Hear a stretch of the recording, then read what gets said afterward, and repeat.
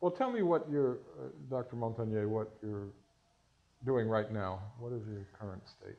Well, I'm affairs? continuing what I already described the last uh, two or three years that uh, we are pursuing the idea that uh, there are structures in water, what we call now structural water or signalized water, coming from uh, electromagnetic. Signalized? Yes, signalized, okay. signalized water, Okay. Uh, which keeps uh, some memory, like to, to say the word memory of water, uh, from uh, DNA sequences. That's, of course, uh, amazing that uh, a liquid uh, can uh, keep an organization like DNA i- in, some, in some structure. But I think there are more and more data coming from physicists uh, showing that uh, there are several possible phases in water, in liquid water. For instance, uh, physicists have shown that the calcium carbonate, which uh, normally crystallizes as calcite, Yes.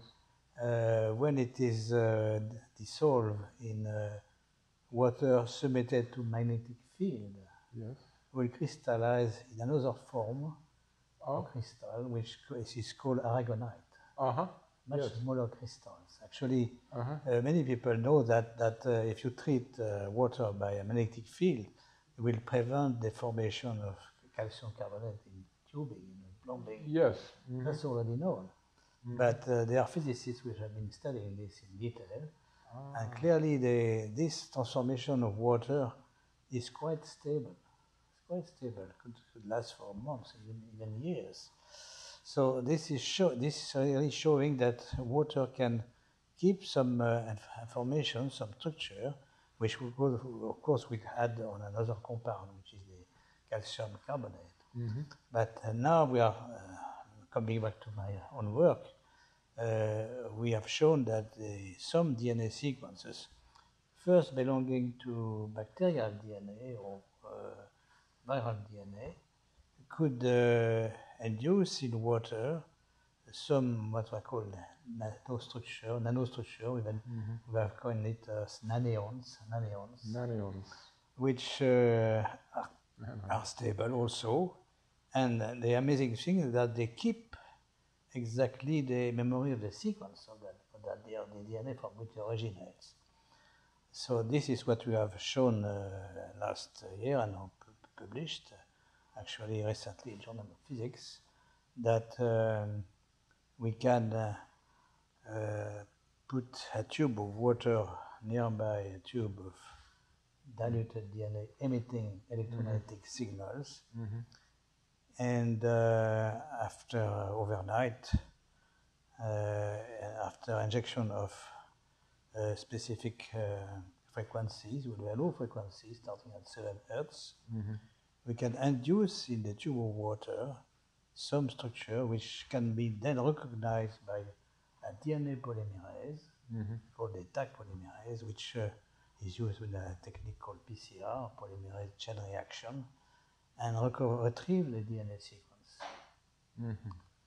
Of course, this is tricky, and uh, we have done it many times in our lab, but we want also now uh, this to be reproduced in other labs with our help first, but also without our help, so that the, the phenomenon will be established. You know, in science, uh, phenomenon have to be reproduced. The experiments has to be have to be reproduced Yes. in order to be part of the general knowledge. And so, so we are, of course, working hard on this, but I think it will uh, come out uh, probably this year. You have labs then elsewhere, and can you say where? We, we have uh, several labs uh, outside France, in Germany, uh, United States, and Oh, uh, that's good. maybe China later. So you have sympathetic, peop- sympathetic people who want yes, to who want yes. to get the, the, the problem is to find uh, uh, people which uh, at least are open, have an open mind. This Yes. is the problem. You know, some people say this is uh, It can't happen. they can uh, they are mental rigidity or I call mental uh, viscosity, Viscosity. and uh, I call it this men- is- I call it mental rigor mortis. Yes, exactly. or uh, when they practice of the day, I call that retrograde orthodoxy. retrograde orthodoxy. Of course, the most intense signals are coming so far, what we found, from some sequence included in bacterial DNA or viral DNA. But we are, are almost pretty sure that at lower level, we can also detect signals coming from the cellular, the human DNA itself.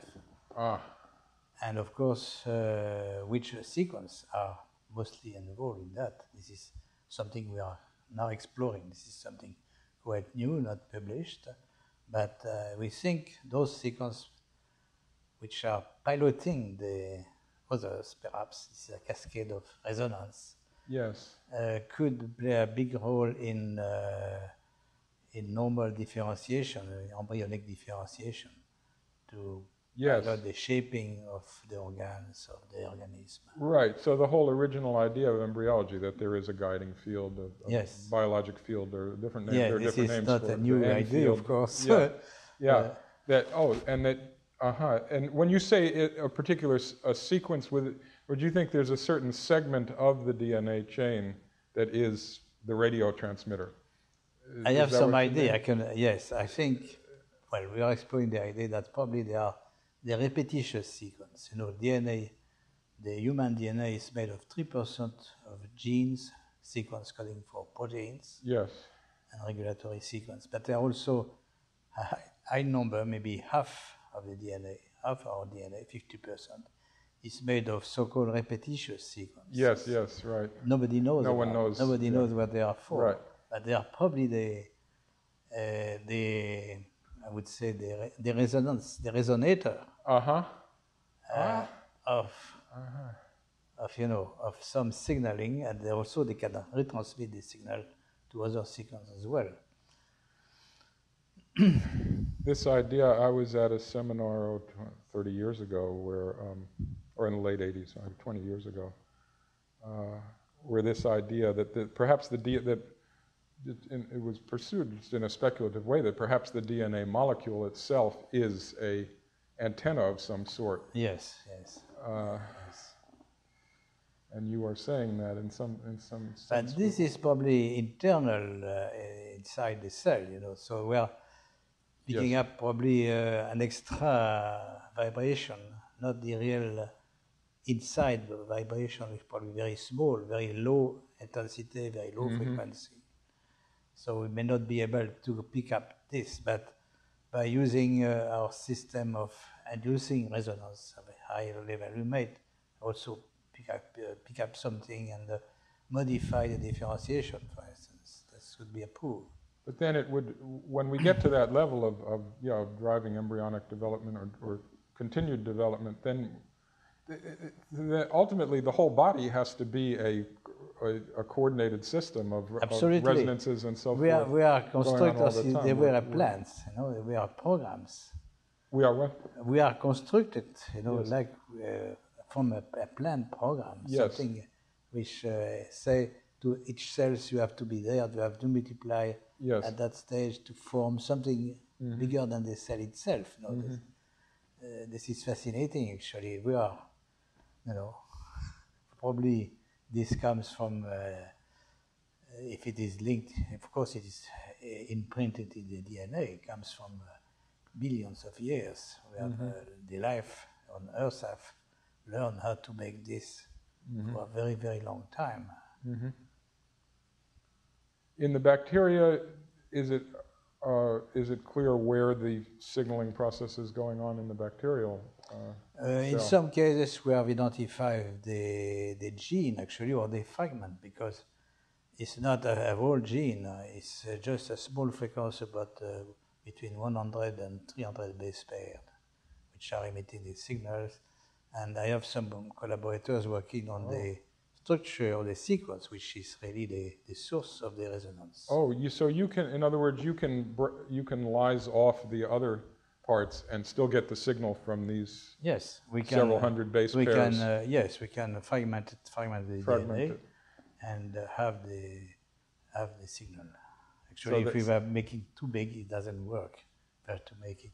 So, of course, we don't know exactly in uh, in, in life how this works, but uh, Yes, we- We are, we are studying mostly DNA fragments from the plasma patients, which probably are coming from apoptotic cells, cells dying, dying cells. So they are already fragmented. Right, and they're already different because they're dying cells. Uh, when you uh, are are these signals also in the uh, in those low frequency range with this seven hertz? Uh, uh, yes, they well they vibrate with uh, very low frequency, but when you you know they what is vibrating after that is the water.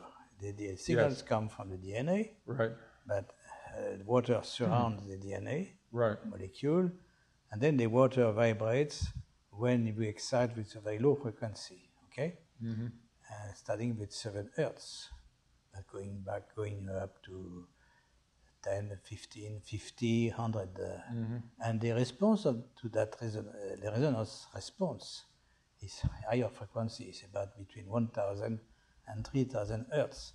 Seems to be similar for any kind of DNA because this is vibration. I would call that the carrier waves of, of water, uh, where the, the electromagnetic signaling will organize the water in some uh, structure, which uh, I call nanions of certain size, because we can filter them between 20 and 100 nanometers.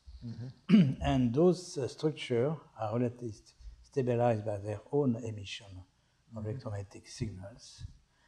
And they are, at, uh, in one way, similar to all uh, sources of DNA, but also different at a lower level. Probably there is some modulation. Take an, example, a comparison, it's like the carrier wave which is used uh, in uh, television, for instance, for many stations. Then up on top of this carrier wave, you have modulation, uh, which are specific of one uh, television station, television emission. So I So if you could sept that, you think you haven't gotten uh, quite yes, to separating we, we, out the. we haven't uh, succeeded Yeah. yet, but we think we could. You have to build what they call in radio. You have to build the detector to take out from the carrier wave the the exactly informational yes, signal. yes, yes. The uh, seven hertz is interesting. Of course, one thinks right away of the uh, the Schumann resonance, Absolutely. Yes. which is has to be in ways we don't completely understand related with living process. Do you have any thoughts on that? Well, probably it was important for the origin of life that uh, this uh, emission already was there. But you know, this uh, is a very low intensity and could change, of course, will because this is probably related to the lightning on the surface of the Earth. But uh, since uh, now a few decades, we are completely surrounded by electromagnetic waves of much higher intensity and frequency due to our human activities. So the problem, the question is, those this electromagnetic uh, smog or fog, does it interact with our own life? Apparently not, because we are still uh, Yes. alive. we Right. live longer, Right. and uh, children grows uh, grow better or higher Yes. uh, than uh, our ancestors. But uh, what are the long-term effects? We don't know. No, we don't, do we? But some, yeah, but somehow it also implies that we, we can survive a lot of. We're somehow very specifically tuned then into these uh, to the frequencies. that probably there are protect, protective mechanisms against this, probably against the effect of uh, Mhm. external waves, Yes. because the our brain also is generating low frequency wave. The alpha waves also at the range of seven, uh, Yes. 12 hertz. Yes. what what was it originally that caused you to look at the radio frequency? To go back Well, and how you got started with it. Uh, you know, this started from some old experiments I made at the Pasteur Institute when I was there, uh, trying to uh, separate from HIV, the AIDS agent, uh, from its possible contaminant, which were mycoplasma, small bacteria. And for that, I used filtration. And uh, I was surprised to find that the filtrate, the mycoplasma filtrate, which had no mycoplasma at all, no mycoplasma DNA, could uh, retrieve the mycoplasma when it was incubated, this filtrate, with human cells, human lymphocytes. So I thought some information, some genetic information, uh, starting from DNA, could be uh, transmitted without DNA. So this is uh, what I thought. I knew, of course, the work of Jacques Benveniste and. Uh, Oh, I see. and Contamination was out of the question. I mean, what the first question one would ask is: Is it possible that there was some contamination that that the sterilization wasn't complete? Of course, I asked that. Uh, I'm sure you did, but you many times, uh, you know, the filter could this be broken down so on. No, I, we we checked that. We spent years actually on that Yeah. phenomenon. and it, uh, it was no, it wouldn't go away. It wouldn't go away. From a small mycoplasma, and we think probably uh, this implied that the genetic information in the filtrators, small DNA fragments of the mycoplasma genome, could recombine and reconstruct a, a whole DNA, whole infectious DNA, with the help of human cells. It really is amazing. Uh, uh, know, Uh, so this was so.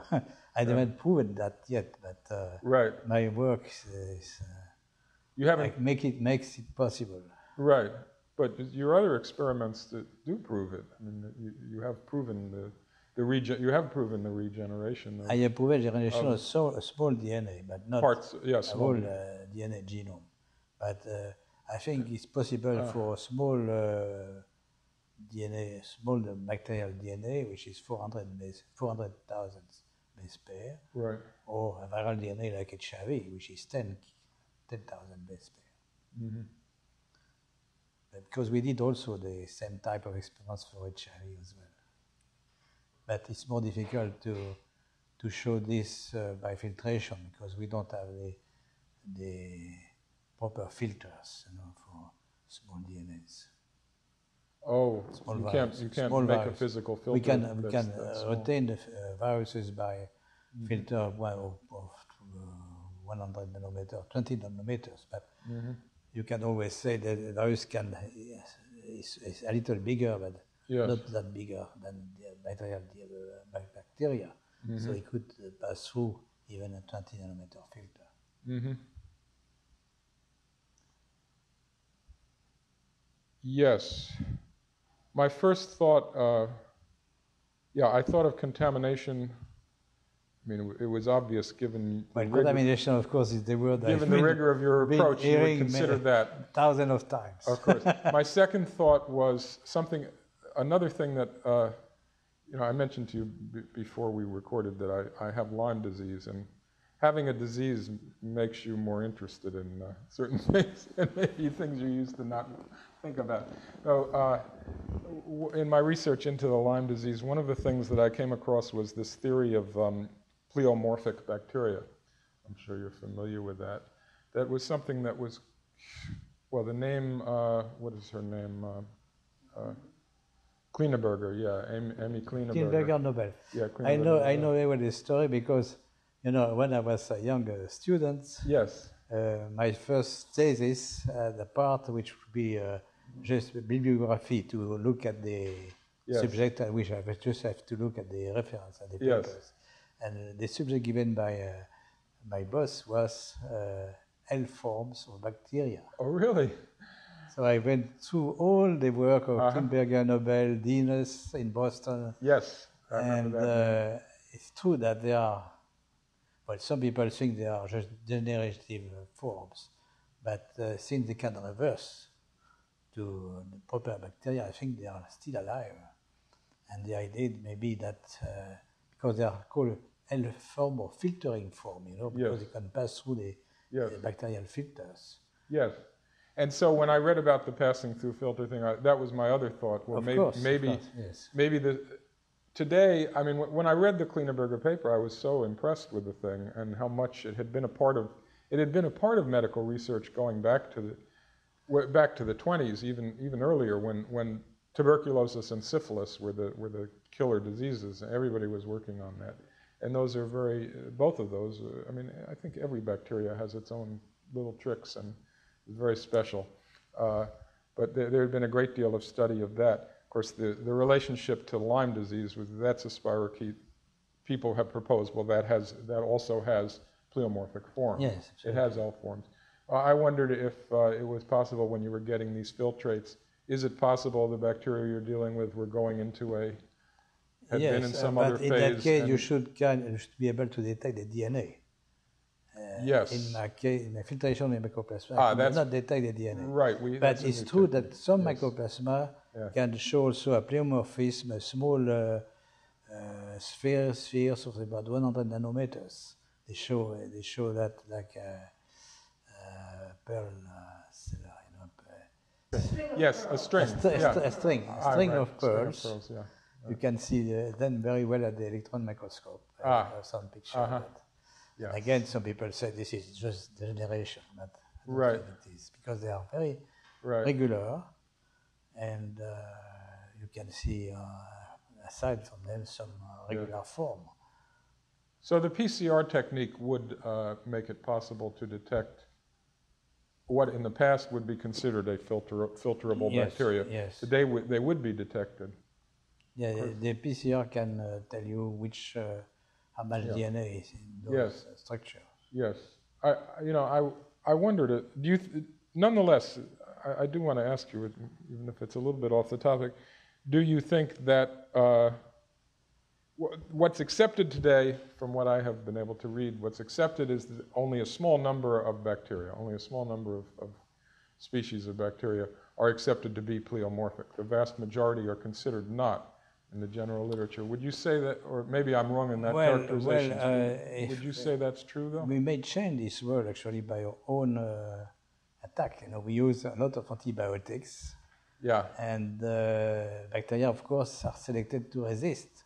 Yeah, Uh, so they can exchange, as you know, they can exchange information, uh, DNA for resistance, but they can also uh, stay in form which are invisible to the immune system. And now, knowing that, yes, uh, knowing that uh, we can uh, form form some nanostructure of water, Mm-hmm.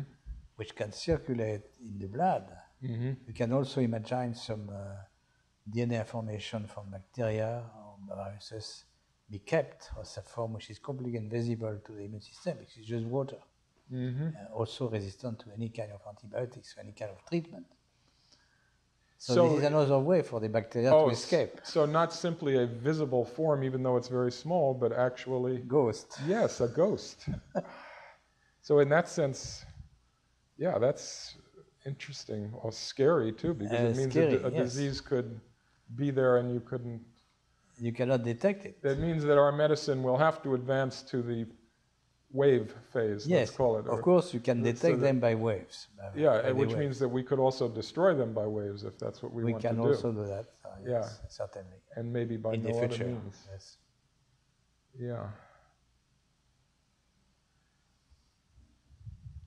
And maybe this is increasing because of the electromagnetic environment, you know, more, Yes. more electromagnetic waves circulating, more formation of those forms Mm-hmm. uh, in, in the blood of people. Mm-hmm. So there are ma- many tricks of bact- actually bacteria can uh, use to resist. Because, of course, we, are u- we were used at the beginning when they were discovered to acute infection, acute bacterial infection. And now, of course, we, are treat- we have been treating well by antibiotics, by uh, vaccination.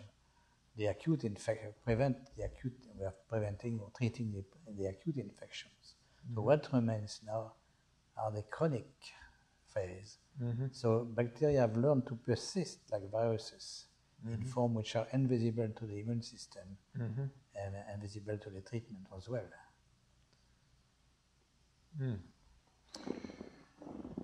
So, going back to the idea of the uh, the guiding field, the field that guides the embryo and guides the growth, that must exist in some sense. I mean, from what you were just saying, my first image was of a, you know, a, a, some kind of coherent radio signal outside, you know, surrounding the embryo in some sense that has formed itself in some way to surround it and be a be a pilot, as you called it. Now I'm also thinking from what you're saying about. Uh, uh, yeah, these ghost these ghost images that here we are, the whole body is a watery environment. Let's think about let's think now about the healthy cells. the healthy cells could be by radio frequency emission creating at all times a kind of ghost of themselves that such that the field in some sense the field may exist in that form as well i can't make this is just a new idea i had i can't make it more precise and in some sense those ghost cells are are there also in the blood let's say not only the bacteria but the healthy uh, ghosts Yes, I mean the, the cells is not only the cell we see, yes something uh, bigger Yes. or uh, more harmonious, more organized with the other cells. Yes. So it's quite possible. Yeah. It really gives you a, it just opens the mind to so many possibilities. Well, but it helps with solving this is the main problem. you know, the differentiation, they are, how an embryo is constructed. yeah, No, we cannot do it. We cannot understand it. We know Yeah. how to induce the cell differentiation, but we don't know how to make a new organs, a new heart, a new liver, yes. a new brain. But this probably will come if we can solve ah, that. ah, We right. can solve that problem. Hmm. So, you know, of course, this is uh, science fiction, but we can imagine you can prolong the life uh, many hundred years. Yes, You can replace your heart. Your heart yes, is, uh, is used probably more than the other organs. right. Of course, the problem is the brain. You cannot change your brain, otherwise you will lose your, your personality. But uh, Mm-hmm. you can at least replace most of the organs and live uh, Mm-hmm. 700 years, Mm-hmm. 1,000 years. Mm-hmm. So the yes, so the limitation on organ regeneration now is the is the conceptual limitation that people are still thinking simply in terms of elements of, of the biochemical elements, Yes, the, the yeah. building block approach. Yes, yes. In fact, you have to take that petri dish with the liver in it and put it in the right radio frequency and light frequency and, And you make whatever another- else, and then You make make the whole environment yes. correct, and then you go, then it grows. Yes. Yeah.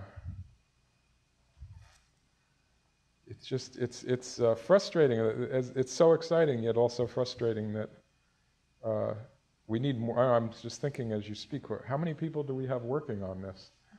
Not enough.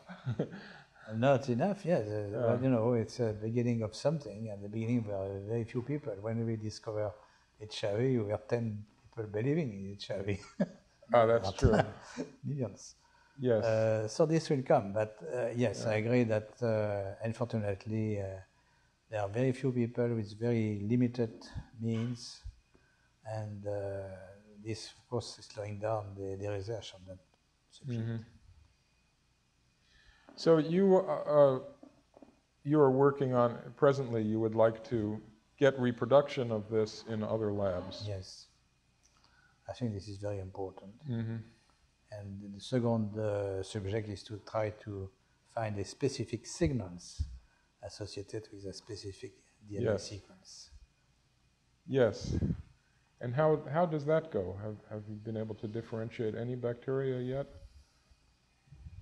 Uh, Is there, is there we a- are working, uh, we try to simplify the model, you know, a small DNA sequence, ah, and right, trying to modify it to see yeah, when we get the signal, when we don't get the signal. So, thinking this is probably associated with some single stranded sequence. You know, DNA is a double helix, but so can open up and form a single stranded s- structure for each strand. Are there any hints of, uh, of, of uh, breakthrough there yet? Well, it's too early, Too early? too early to say. You know? Uh-huh. Yeah. I- Um, did you hear about the, the experiment recently that was published on the uh, spin selectivity of DNA? That they, they coated a, a metal, what was it? They, they coated some Yeah, surface with DNA right, and they fired uh, electrons, I believe. And just right, the, the, the electrons were all of different uh, polarity, or different, different polarization, spin, spin polarization. But in their interaction with DNA, when they were Right. reflected, they all were reflected with this, with a, with a certain chiral orientation. right. I'm wondering if, if you were familiar with that, or if you had thoughts about, uh, you know, this property of DNA to, to select uh, certain candidates. I, I read this, but I think this was done mostly for application, for computer application, using the DNA molecules for Yeah, I think that's uh, how they were storing thinking. storing Yeah. information or something. Yeah, but you could reverse, but I could reverse, you yes. could reverse it. I could reverse it, yes, with water. We have to see the interaction with, hmm with water. No, this the DNA molecule is a marvelous molecule. I would say uh, has been. Uh, I don't know if it was invented, but we, my my uh, idea is that the model of DNA was in water.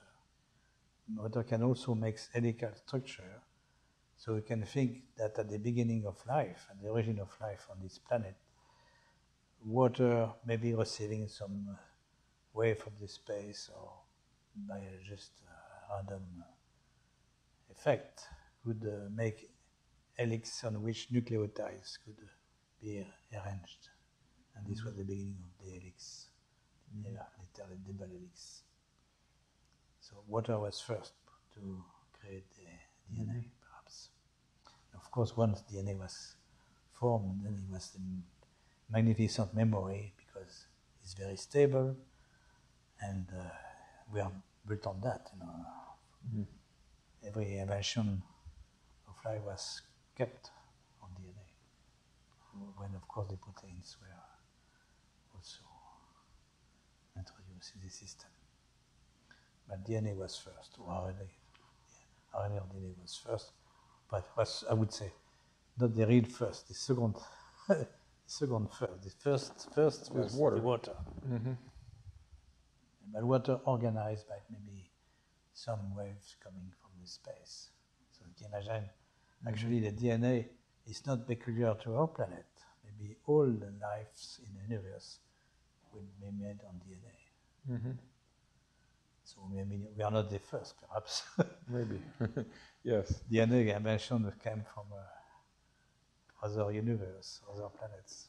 There are many, many different. There's much evidence on another aspect of this, which you're touching on here, which is the question of the interaction of life with cosmic radiation, other radiation from space. That continues. I mean, there were many, a lot of interesting work done over many years showing. The Frank A. Brown comes to mind. I don't know if you're familiar with him. He was an American biologist. Uh, active in the 40s and 50s, just did one experiment after another showing ways that uh, um, that living processes, like like the one of the opening of clamshells uh, and other things. He moved clamshells from a harbor in New Haven uh, uh, at the sea to Chicago, and after a certain amount of time, they began to pick up the signal uh, how they would open up as if they were as if the tide as if the moon, the, the lunar tide of Chicago was being detected by them some way. But he had isolated them from, uh, you know, completely. They were in a box. They were completely isolated from. Uh, They still Uh, they still got the signal somehow, the signal. the lunar lunar solar signal. Mhm. Uh, and then he did other things that showed correlations to it, to cosmic ray uh, uh, variations in in growth processes. He studied certain plants and so forth. There was a tremendous amount of uh, again, there was a tremendous amount of evidence there of he and their other collaborators. Again, it's one of those areas that I think we were discussing earlier, Mm. like like the attack on you. That anything that suggests that life is is uh, uh, is something uh, cannot be simply explained by from the ground up by the laws of physics or by the element theory of elementary particles uh, is you know gets is rejected uh, or yeah that, that, that there's a there's a tendency for it to be crushed so this has been your experience and it's, it's uh, it was the experience of Gurwitsch really after Yes. why Gurwitsch didn't get out uh, But we are lucky having a, system which is very accurate in the DNA sequence. It's chemistry, it's not biology, it's chemistry. yeah And uh, uh, I think our work also put the emphasis on very low frequencies, you know, yes not only looking at cosmic rays, like uh-huh visible light, but also very low frequency, which right have a very low energy, carry a very low energy, and uh, life may be built on more on very low energy changes. That the direct coupling is there is to that low energy. The coupling of the, yeah, that, Yes. that makes sense. And yet it also is employing these others because the, the, the evidence for the biophotons is, is irrefutable to, to, in my view. You know, since Gurwitsch, it has been proven and proven again. The, the uh, in, uh, in, in Germany has demonstrated this over and over, and other, and then it's been reproduced that there, there is this biophoton emission uh, at the ultraviolet, uh, in the ultraviolet But, frequency. uh, now that may be a mechanism by which life is, is operating. It may not be the, Possibly, yes. uh, but it's there. But the problem is, uh, in the manual books, you know, this is executed in one sentence. Nobody has been able to reproduce, so on, so on. Biopho- oh, they'll Like say that. Yeah, Even like uh, experiments. It's incredible. yeah.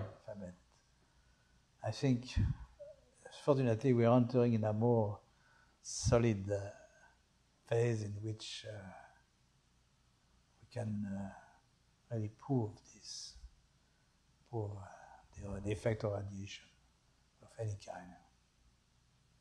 Do you continue to get support in, in France? At least some, no, Mm, very little, very little. but enough. You have enough to carry on these experiments you're describing. Just about. Just about. And the, the situation in China is going to take some time. It may take some time, but we have also uh, support from other countries, you know, uh. European countries, United States. We have this, uh, those meetings Mm-hmm. on water uh, organized by Pollack. Yeah. Gerard Pollack, hmm which are very fruitful, I would say. That's been a help. Huh? Yes. If, I'm curious uh, if you had unlimited resources, uh, what, are, are there types of experiments that maybe right now are not necessarily uh, feasible or practicable, but that you think could be designed to really, just as a thought experiment, uh, you know, what would be the types of things that you think would be the most exciting um, you know, applications or uh, uh, experimental kinds of apparatus or uh, Well, we, we, we uh, of course, now we are working uh, by hands, mostly the dilutions. You know, that is important Oh, in our system infiltration and dilutions. But we are thinking of uh, robotize to robotize this, make a robot for Oh. making this. So this is one of the goals of our company, Oh, and uh, this will extend the possibility to analyze, uh, to use this in practical uh, setting, you know, in clinical laboratories, for instance, to detect and treat early on some chronic diseases, because we yeah. our system detects the electromagnetic signals from patients' DNA having uh, Alzheimer, Parkinson, uh, multiple Yeah. sclerosis, uh, rheumatoid arthritis. So we, we can already focus clinical diagnosis. This, is the way we are trying to make money for employing, extending our resources. By the way, that imply that implies when you, for example, rheumatoid arthritis is uh, considered an immune. That's not considered a bacterial uh, uh, infection. of It course. was, but it, it- I think That implies perhaps it is. As there are well, people. well, there are of course, people who any, say any kind of it autoimmune disease is caused by an infectious agent at the beginning. You know, Mm-hmm. the- we, the, we cannot Mm. be autoimmune against ourselves unless Mm-hmm. some external agent mimics some of our proteins. Mhm. And of course, in the case of a bacterial infection or rheumatoid arthritis, uh, the, the most candidate, this was an old theory actually, that could be a bacterial infection, a persisting bacterial infection. Yes, yes, and I've read that. I, I wonder if. The, so, do you believe that could still be true? Oh, yes. Yeah. Okay. Yes. Yeah. And uh, we are working with a group of clinicians in France, Yes. uh, which are already putting into practice the long-term antibiotic treatment For arthritis. for arthritis, Ah. rheumatoid arthritis, for the other disease I was mentioning, neurodegenerative disease, and also, and this is also uh, give us a lot of problem, autism, autism. Autism. Yes, which also may be a, a It's incredible the, the resistance. aggressive resistance reaction. You know, yeah. we, we have clinicians, they are general practitioners, but we have Yeah. also uh, clinicians which have, a, a, I would say, an academic position. Yeah. And those uh, physicians are uh, really uh, scared, you know, to not to come back, to come in our group, not to use uh, too much of our uh, lessons, or because of the pressure from the other side. You know, they, may lose their position, may lose their credit. Yeah. This is terrible, Yeah. especially for autism. For autism, yeah, because, well, partly because it's such an effect on the family and there's this tremendous. It's a terrible It's emotional, disease. it's a an terrible, thing, terrible disease, and uh, it's in the hands of psychiatrists, and they don't want to hear about Yeah, infection, organics, uh, cause, Yeah. and so on. Right, This is terrible for the parents. Terrible. right. the child. Well, what bacteria is it? Um, it seems to be common bacteria. This is the un peu our surprise. You know, when we look at the species because we have some Yeah, molecular tools to yeah, try to identify. We we uh, end with some very common bacteria like Staphylococcus or Streptococcus. So we are thinking perhaps some strain of those. You know, it's not only the bacterium itself. It's maybe a gene or a plasmid, a DNA, Mhm. which is involved in the disease, Hmm. not the whole bacterial infection. I, kn- rec- I knew a, um, But antibiotic treatment does a lot against or Yes. also the bacterial origin. yes, Uh, in a study uh, not published in France, we have a, a recent meeting with 58%, 58% of the autistic children were improved, their conditions were improved by long-term antibiotic treatment, hmm whatever the cause. whatever cause. Yeah, well, it certainly worked for me with Lyme disease. Uh, I, th- that was, as I mentioned, I got exploring on this question. I, I met a um, old infectious disease specialist.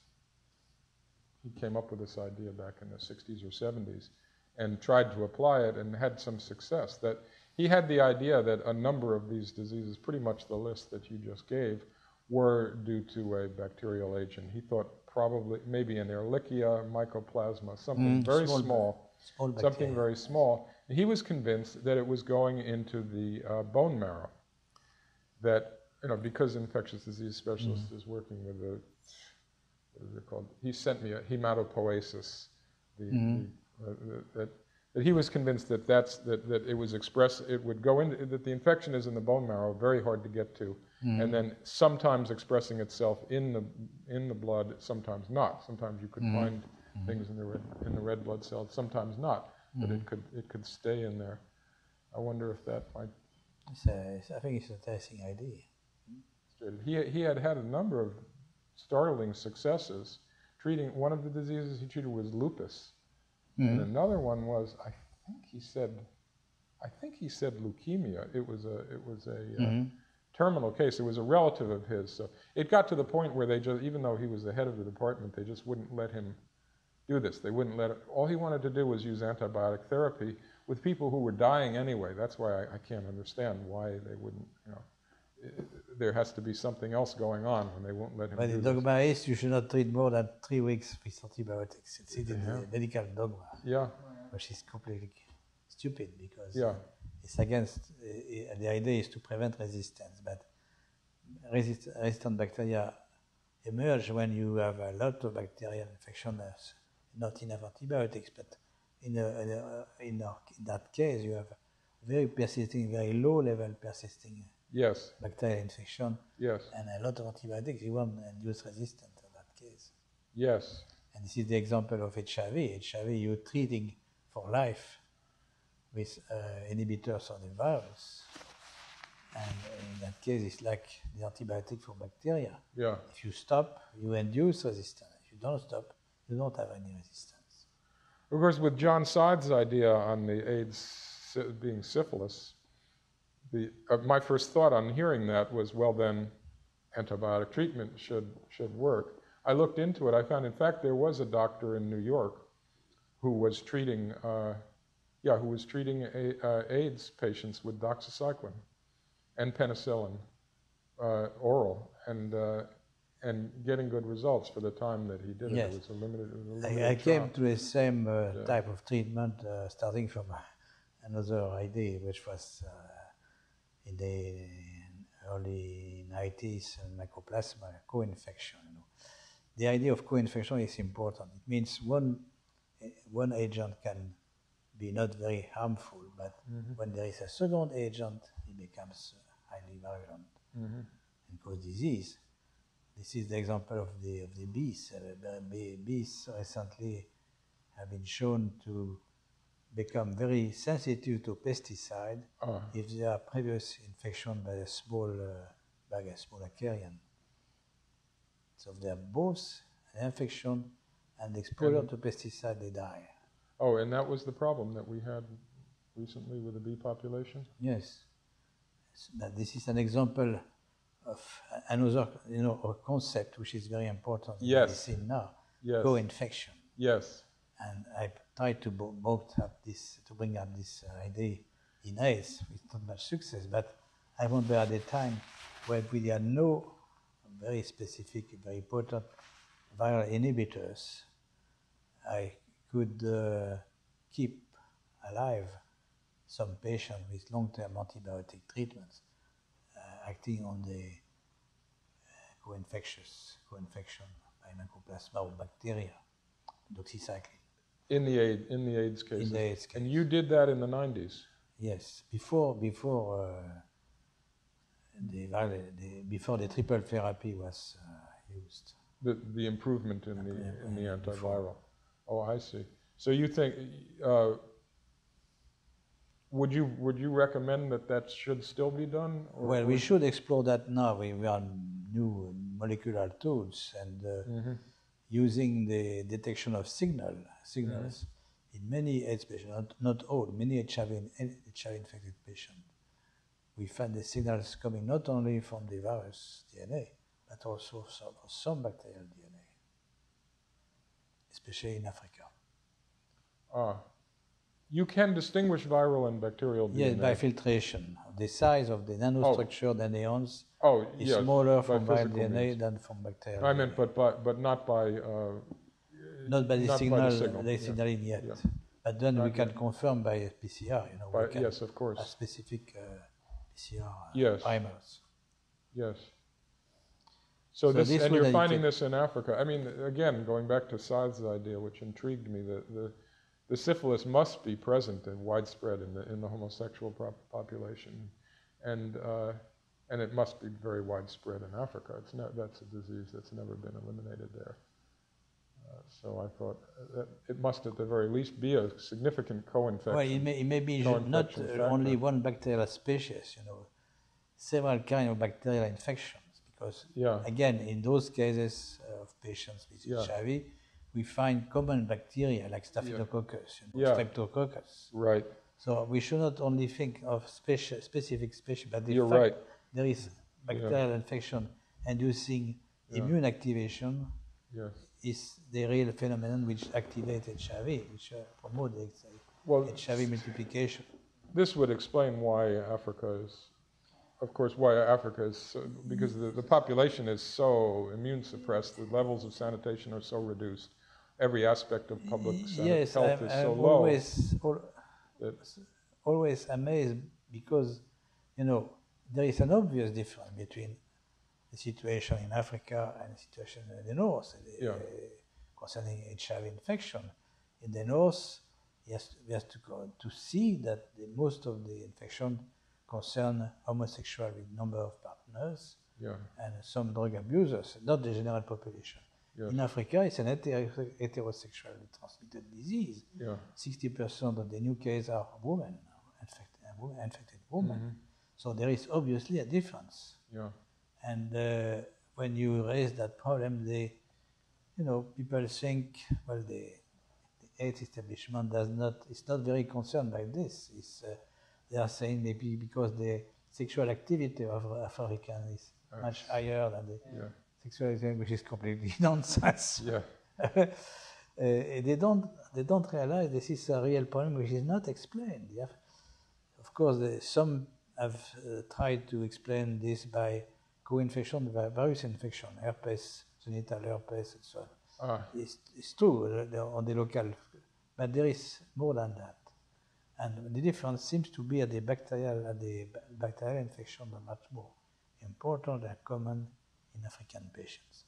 Of course, we have not made a statistical, statistical Right. study, but you know, as we are now uh, making more clinical trials trying to cure the infection, so adding some supplementary treatments in, uh, associated with antiretroviral treatments, we can study this in more detail. You have a clinic or you have places have- where this is being tried in Yes, Africa? uh, our foundation, which is linked to UNESCO, uh, has uh, created or contribute to, contributed to create a cent- research center in Africa. We have one working very well in Abidjan, Coast, despite the political turmoil, and also in Cameroon, Yaoundé, and maybe also in South Africa, we have now new contacts.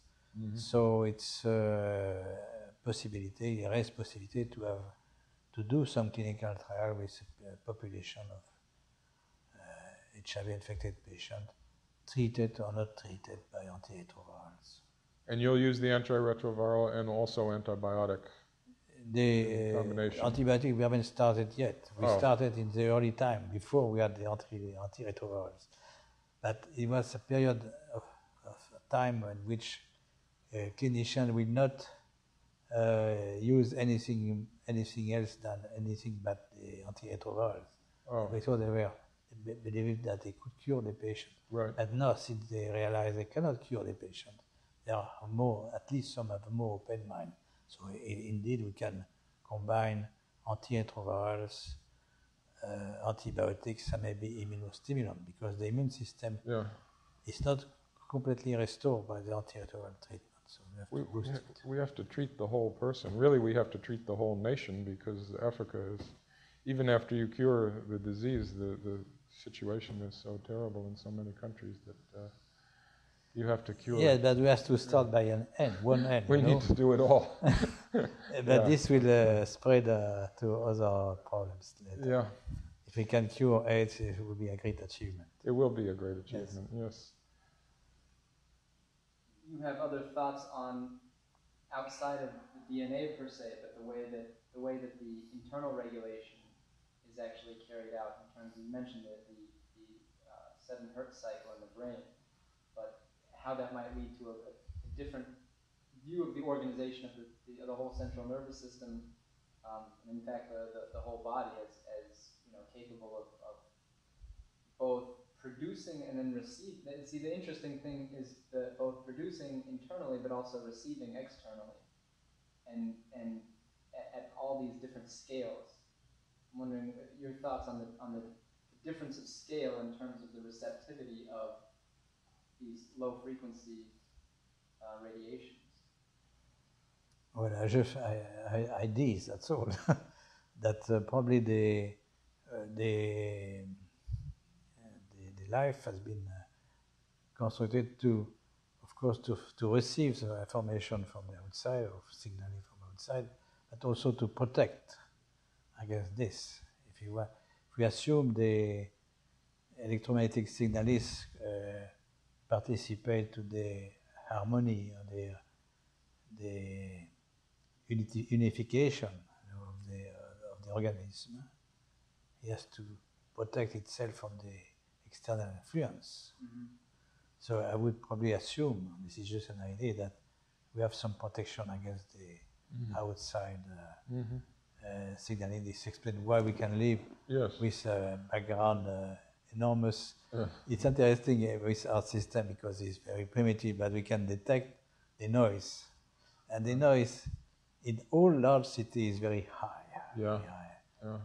In, on the contrary, in Africa, it's very low. hmm The radio frequency. The radio, well, the, the low frequency we are frequency, using yeah. for Yeah. uh, resonance, Yes. uh, resonating the DNA. Yeah. Well, you get the six, you get the 60 hertz hum everywhere. For you, it's, fif- 60 for you it's 50 hertz. The Europe. 50 or 60 years, uh, thanks to Professor Tesla, is everywhere now, also even in Africa. Yeah. But uh, it's a very low magnetic field. But uh, it's quite possible that he had some influence on the epidemics of bacterial infection by increasing the number of nanions of found to persist. And uh, why more in Africa? Uh, why it should be more, of course, in our country than in Africa. It's not the case. Uh, so maybe there are counteracting sign- waves which uh, preventing the effect of the low frequency were generated by the electric power. Do you think that might And in Africa, you have most, mostly the electric power, no much so far, uh, other sources of electromagnetic waves. This may change with, of course, the industrialization of Africa. Do you think the, the, the seasonal, the expression of certain season, seasonal relations, um, relations to solar cycles in diseases may It's quite also possible, you know, in at the equatorial, uh, uh, in equatorial regions, you have not exposed to the same magnetic field of the Earth Yes. than in the pole. Yes, there are a lot of differences there. So there are a lot of influence, and some are contacting the others. That's why we are still alive. Possibly. It's also interesting to think, as long as we're in the speculative realm of, you know, how you would maintain life outside of the electromagnetic field of Earth. You know, Yes, uh, I, I wonder if we send somebody to Mars, what would be happen during the, the trip? hmm right. Beyond just the the uh, cosmic. The cosmic radiation. Yeah. Yeah, we might have to supply in a gravitational field and also an electromagnetic one, Maybe. artificial. Yes. Yeah. Well, there will be some uh, waves correspond for uh, connection, of course. The, the astronauts will be talking with the A Earth radio, yeah, by, by right. radio all the time. Right. I'd be curious, just in terms of your perspective, having actually worked, done experimental work for so long, um, on how, you know, going really from the, the origins of molecular biology, discovery of DNA, you know, discovery of uh, viruses and so forth. Um, I know it's a, it's a sort of a broad sweep to take at once, but it, I'm just curious, having you having lived through it and worked through it, what- what your sense of, I guess, directions and and and um, the level of discussion maybe, uh, or the, the, the types of, of um, even just the experimental work itself, how, how it's changed and, and you know your sense of, particularly now with uh, you know what, you might impart to to a younger generation, which is sort of faced with these questions, but in, in somewhat adverse circumstances, I think, thinking about the future. Well, I, I, you said, I live with that from the beginning. I was very enthusiastic, actually. I was in a British laboratory at the time, uh, not the double X-ray discovery was a little bit before, but I lived, uh, I actually, I attended a course of biophysics at the Queen's King's College uh, in London, where the first uh, X-ray diffraction experiments Oh. were done by Maurice Wilkins and uh, Uh-huh. Rosalind Franklin. And I could Oh. see the small apparatus to ex- stretch the fibers you know, of DNA, the B form, the DNA hydrated, the hydrate before, to show the first uh, diffraction diagram. And we were uh, learned, taught, taught to how to build up some uh, molecular models, you know, with the double helix. So I, I was actually at that time I was working on double-stranded RNA. You know, I was looking for a double-stranded RNA uh, in the application of RNA viruses. You were looking already for a double-stranded. I was the first to publish uh, with my boss in Nature a paper called the repli- replicative form of uh, encephalomyocarditis virus RNA, which was a double-stranded form. I work on the double-stranded RNA. But you already knew it was double-stranded? No, I was looking for. I show. I You- show it what for the what first made time. you think? What made you think that, that it would be? Well, at that time there were several models for replication of RNA. You know, ah, and some people, like uh, Sol Spiegelman, thought uh, RNA, unlike DNA, could replicate by having the same strand. So One strand makes the same strand. In, in case of DNA, the, the strand makes a, a complementary strand. So the idea was to, uh, the one model was that, but, was looking for this, that if there should be a complementary strand, we should find some double-stranded RNA inside the cell. And I found that. that's fascinating. what year was that? Huh? That was when? 1953 It was published or- in 1963. Yes, published in, in Nature. In '63. 63, Oh. 1963. And this RNA was relatively uh, easy to isolate because it was RNA is resistant, and I have a model of infectious RNA. And this RNA, of course, double-stranded RNA was also infectious. The single-strand was, but also the double-stranded RNA was infectious as well. So just by looking at that infectious peak being RNA resistant, I could detect this double-stranded RNA. So this was my first, uh, I would say, uh, fait d'armes Right. in the field of re- uh, research. And uh, so I was at the first uh, phase of molecular bi- biology. Then uh, I was more oriented on the protein, membranes, cancer uh, in the 80s, in the 70s, between and 80s. So I, don't, I did not miss completely by I didn't uh, participate myself very much in the clone, molecular cloning, you know, and so on, the uh, restriction enzyme and so on. But uh, I follow the field very carefully, and I have some people in my lab working on that. But my first, uh, uh, I was so I was very impressed by molecular biology. And people Yeah. solve many, many problems, but Yes. now I think we are, well, there is still some, uh, I would say, uh, developments of microbiology was very interesting. I'm, not denying it, but No. I think we now we are going to a new phase, hmm and, uh, using new paradigms, Mm. including the waves. And uh, I think the new molecular biology should, of course, include the old molecular biology, the Yes. con- with contact between atoms, particles, but also waves as well. Oh, what do we call this? Do we have a name for it yet? Is it Well, wave, uh, wave Jacques biology? Benveniste called that digital biology.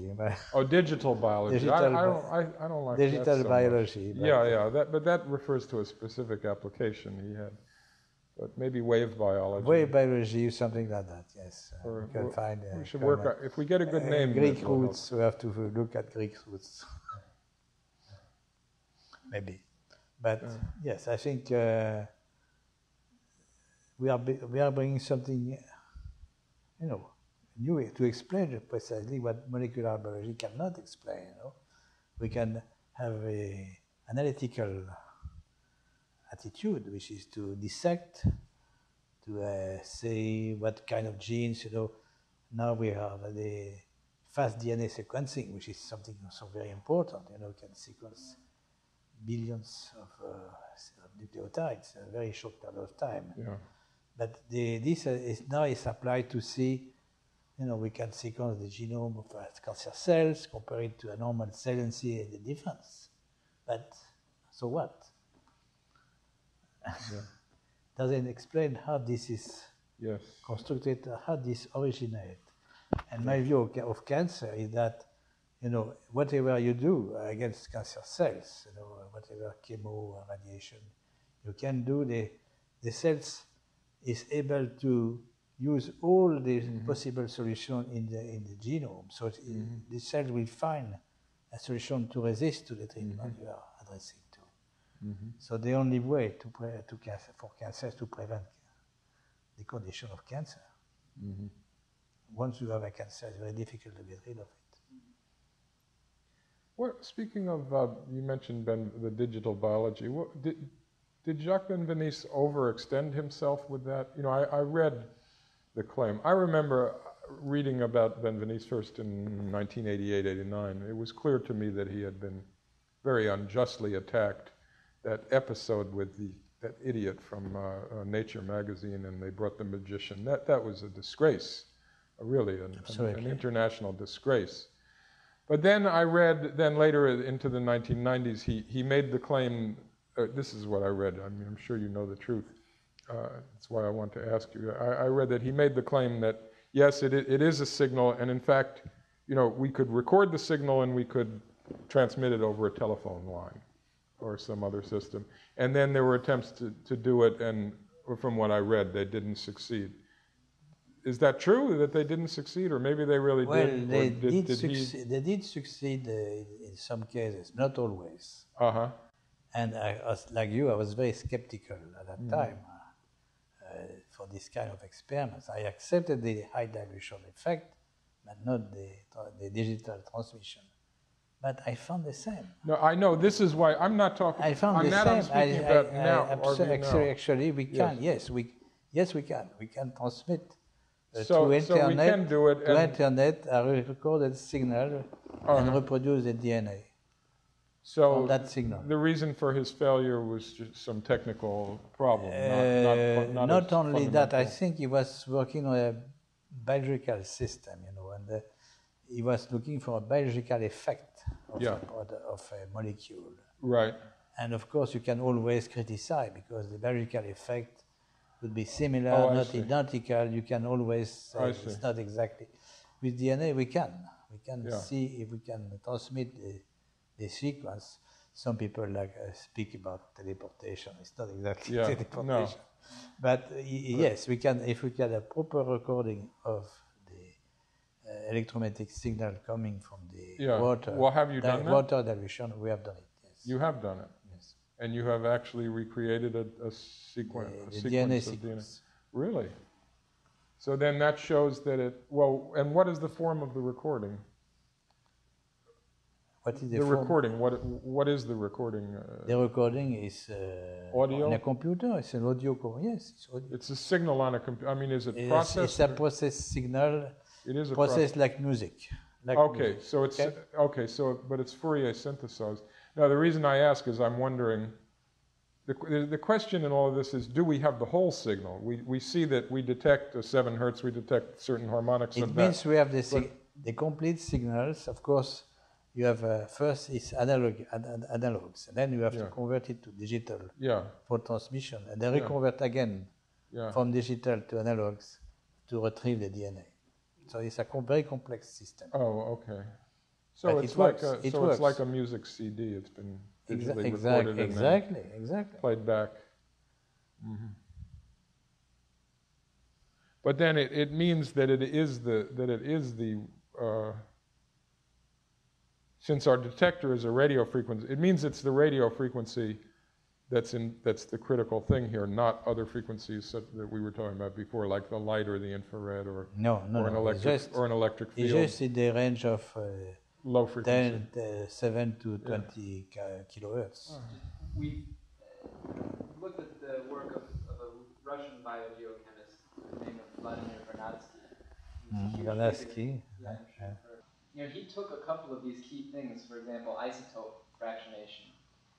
Um, he thought that that was there was something much more significant about the state of, of the living organism, the living state, that was projecting itself in something like isotope fractionation, that it wasn't simply mechanical. Um, he also did a very deep study. The whole last part of his life was looking at Pasteur and Curie's work on dissymmetry and, and uh, you know, the, the, dissymmetry of optical active isomers. And, and you know, he thought that this expressed, again, something fundamental in the living state, which, which distinguished it, it, it from the non-living and you could see expressions of it. You could see it in the biosphere as a whole, in, in the creation of new forms and more intensive migration of different chemical elements. But um, he thought that this could be a, a point of collaboration to, to rework a lot of fundamental concepts, but do it from the standpoint that, you know, often what you see living systems are capable of, of carrying out can only be done at the extremes in non-living systems. You know, the, the sorts of things like uh, superfluidity, or at least analogs analog things like superfluidity, um, chirality, and so forth, require extreme, you know, conditions to get in the laboratory, whereas they seem to occur effortlessly in the organism. And it just seems that, that there's something about that idea that, that I think was lost, and, and a lot of avenues that, that could have been pursued, you know, from the 30s onward were, I think maybe now only starting to rediscover, but it seemed like a lot of ground was lost when we lost that idea. Mm. Yes, uh, it's um, a very strange world of in which uh, science seems to expand, but uh, not the, not the ideas. The, the concepts are shrinking. Science is expanding, but mm. the concepts are shrinking. Mm-hmm. In biology and, uh, as we said, in physics as well. Mm-hmm. More and more empirical data, but less yes. of the, mm. yeah. I was thinking now we are going to a world uh, we are seeking new source of energy. You know, uh, mm-hmm. fission, nuclear fission is not, of course, a solution, but maybe uh, fusion will be. Mm-hmm. And of course, Robert uh, comes again the idea of cold fusion. Mm-hmm. I'm not an expert, but I think some still some physicists are thinking cold fusion mm-hmm. is possible, especially coming from Russia. So maybe there should be a, a, a bit a status to uh, an excitement to develop. You know, by looking new source of energy, we may develop new new concepts. You said the, the imperative might force a new. The, the empirical needs uh, may force people to come yeah. back to mm-hmm. all new yeah, ideas. We, have thought a lot about this. That that you know, this is really the way to, to think about national policy a, a, true, you know, the, the, the, true national interest is, is pushing exactly those kinds of programs where you don't necessarily know what the research is going to give you, but it's a, it's a driver. You yes. know, we, we had saw elements of it with the space program in a limited way, but the idea is you, you define a mission, and in the course of trying to carry that out, you will find whole exactly. sciences branch yeah. out and open up. So I think the the United States government or the, the, the, you know, the world nations should have set up some kind of a Manhattan project, not to make an atomic bomb, but to make mm-hmm. new source of energy coming from nature. Mm-hmm. Maybe this will come. But this implies that our politicians are sensitive to the to good scientific advisors, not the one which are routinely around the politicians, which are just trying to, you know, to, to go along the, the lines of the politicians, the short-term mm. lines.